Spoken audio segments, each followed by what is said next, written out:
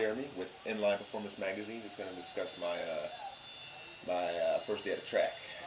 I was slow as dirt. okay, I mean I was like molasses. I mean when I even got started, I was all over that track in C group. I mean I was everywhere. Um, I could not set up a line or to a corner for another corner. I was just doing whatever. Okay, and so of course you know later on when I asked an instructor you know for a little bit of advice, a little bit of help with it, um, they followed me. Definitely definitely helped me out a lot, actually. Um, my first session, I went out and uh, I was stuck behind a lot of C group guys who were actually new riders just in general. So like I was moving very slowly, okay? You know, by my second session, I just pulled in front of everybody, started fast people, just did my own thing. You know, after a couple of sessions, he bumped me up to B, and uh, I was just mid-pack, you know, still completely lost, and kind of intimidated too, like, oh man, this is B, this is what I was doing in C, you know, what am I to do? I'm to suck in B, you know? And uh, throughout the day, you know, I actually just started, you know, improving. Like this, each session got better, better. In fact, each lap just got better and better and better.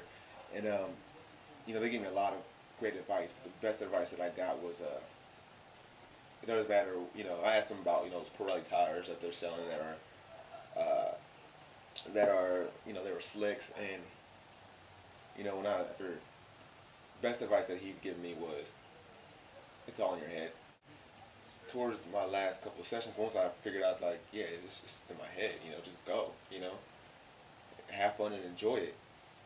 You know, my riding just improved to a point where I, st- I don't know what I was doing in the beginning. I was like, what was that? Who is that person riding that bike? You know, one of my last two sessions, I was out there and you know I was in B group, and uh, I was running laps. You know, I was one of the first two people, you know, that they allow, you know, move forward, and. Uh, I started I started going, you know, I'm running I ran a lap, realized okay, and I ran another lap, realized okay, I'm still lo- up here alone, okay, all by myself, you know.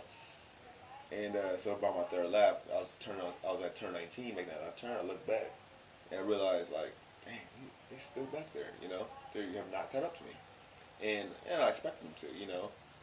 They had, and I had a couple people pass me in the, the last two sessions, and uh, eventually, I actually, and it, they actually, uh, I saw the tower. Uh, there's you know this little tower at the end of the track right where the starting line is, and I look up and I see them you know jumping up and down like you know that's it. Look at him, look at him go, you know. I was like, damn, to have that kind of support. I mean, now I'm addicted. now I'm going back back up this Sunday. I don't have any money in my account. Like three hundred dollars in my account, but I'm going to make it happen regardless because I'm hungry. You know, I had the best time of my life, and I don't want to do nothing else. You know, all in all, uh, Buttonwillow Raceway the track itself it's really bumpy. You know what I mean? It's it's really really bumpy, but I don't care. But it's a great track. I, am satisfied. You know, like I said, I'm going right back to Buttonwillow on Sunday. I'm about to drive four hours, spend all my money, just go up there. I don't know how I'm gonna eat next week, but I'm gonna do what I gotta do. You know, I mean, if you want something, take it. You know, and I'm trying to see if I can get something for you guys next time. I mean, I actually track riding video. I couldn't this time because of battery issue. It's a mess. But you know, I'm on a budget, so what can I do? You know what I mean? But hope you guys enjoyed. You guys will definitely see a lot more videos from me, and you guys will see a lot of updates. I'm also gonna have some pictures up. Uh, I'm about to spend, you know, a bunch of money on the pictures right now. You know, hope you guys be able to get that as well. Okay.